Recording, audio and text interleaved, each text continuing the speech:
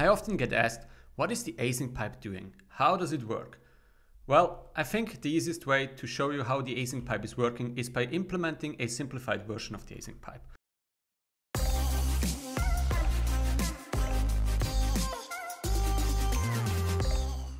So let's take a look at the following application. We have an app component and this app component simply displays a stream.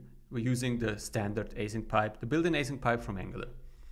And the stream starts off with a timer, so after two seconds it emits, and then we map it to an array of foo bar, and we start with a value of foo. So when we run this application, we can see that initially foo is displayed, and after two seconds, bar comes. So let's now go ahead and implement our own pipe.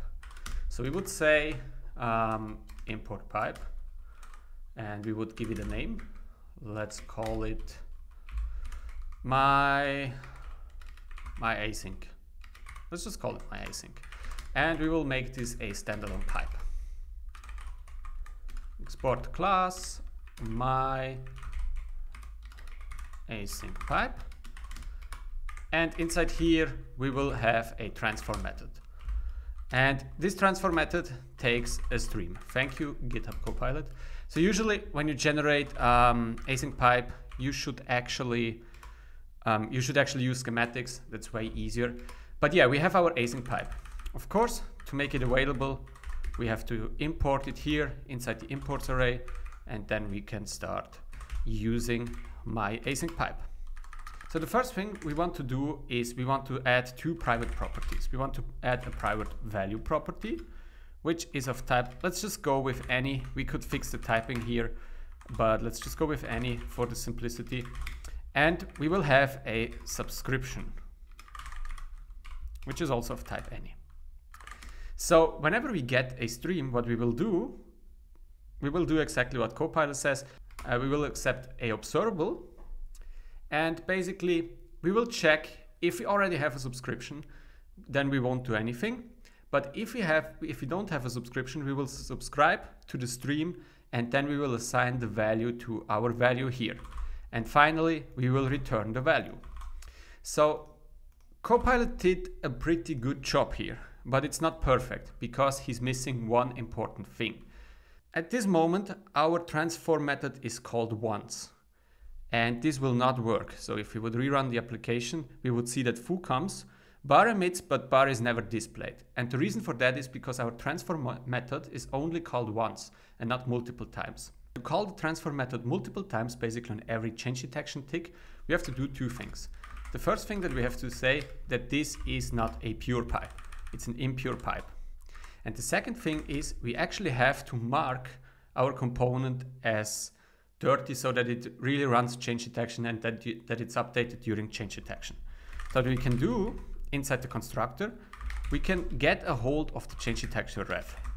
So we would do um, CDR ChangeDetectorRef. And then inside here, what we have to do is call cdr.mark for check. Now, if we refresh, we can see that foo is there and bar comes after three seconds, three or two. Uh, it was two. After two seconds, bar emits. Because our transform method is run again, the value is correctly updated and returned. So that's basically how the async pipe works. So there is one last thing, of course, missing is to handle the subscription. So we can go ahead and add a ng on destroy lifecycle hook. So we just implement the on destroy interface um, like this. And then again, we add a private destroy subject. Let's call it destroy dollar for stream, which is a new subject.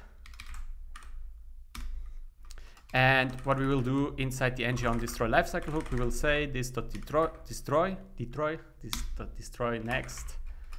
Um, we can say this subject is void. And then the final part that is missing is of course inside our stream, we can use a pipe together with a take until and we slap in the this dot destroy. So that's a very simplified version of the async pipe. but I think it illustrates nicely what it does under the hood. So the important thing is it subscribes to your observable, it automatically unsubscribes, but one very important line is line 29, this change detection for check. So this line guarantees that change detection is also triggered when you, for example, use a observable in an on-push scenario and together with the async pipe. So this marks the component for check. In the next cycle of change detection, it will then get picked up and the value will get updated.